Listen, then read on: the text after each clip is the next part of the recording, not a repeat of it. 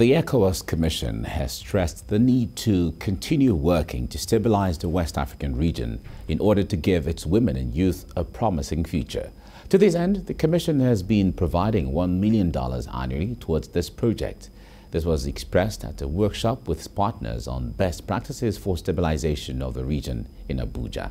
Moyo Thomas has the story the conflict in West Africa and the Sahel poses untold developmental and stability challenges to the region. The situation has resulted in increasing poverty, especially in women and youth.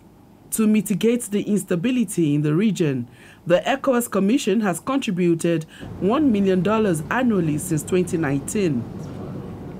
Other international donors have also made investments in communities turned by conflict and terrorism. We must also support communities that are affected uh, with stabilization programs, including public infrastructure such as the construction or rehabilitation of schools and health centers, support to women and the youth so that they can themselves be trained to get employed or start their own businesses.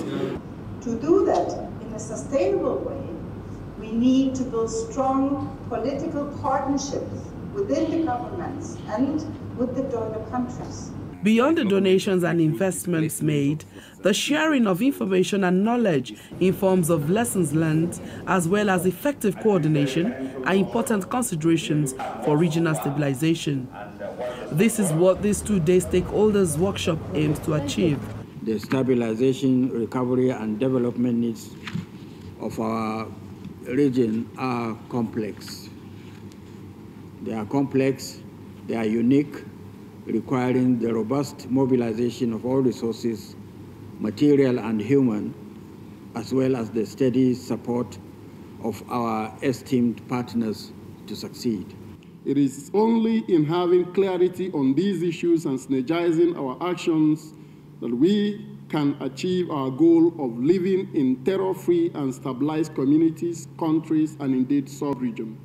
Stabilization plans such as these ensures development is ongoing in the northeast and the region while solutions are being preferred to the root cause of this conflict. Moya Thomas, TVC News, Abuja.